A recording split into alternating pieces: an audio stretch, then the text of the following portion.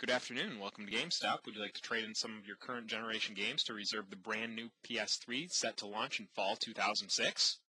Excuse me, but maybe instead of selling consoles that won't be out for another year and won't be on your shelves for another four years, you should focus on selling the Xbox 360 core systems.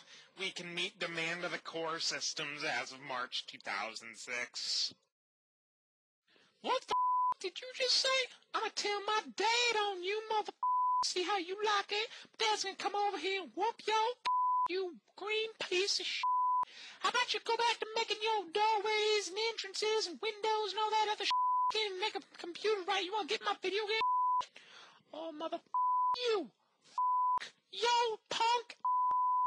I'ma get my daddy. I'ma get my daddy.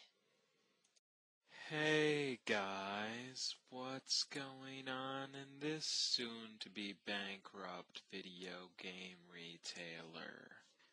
Nintendo, I just wanted to say that I've always really looked up to you and all the innovation and that you do for the video game world.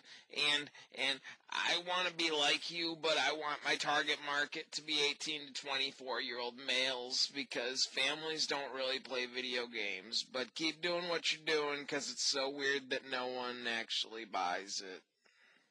Despite the total lack of effort, Nintendo has stayed pretty competitive with the Nintendo GameCube, Game Boy Advance, and Nintendo DS. Will you shut the f- up? I hate you, and I hate this store. You don't know what the you're talking about. You're overpriced. You never get any games in unless f- pre-order them. Why the anyone pre-order a game from you? You don't cater to your customers. Why should your customers cater to you? And I swear to God, if I see another kid walk out of here with a five dollar trade in for a Nintendo 64 game or some shit, I'm gonna strangle you. I'm gonna strangle you. Nintendo DS sucks.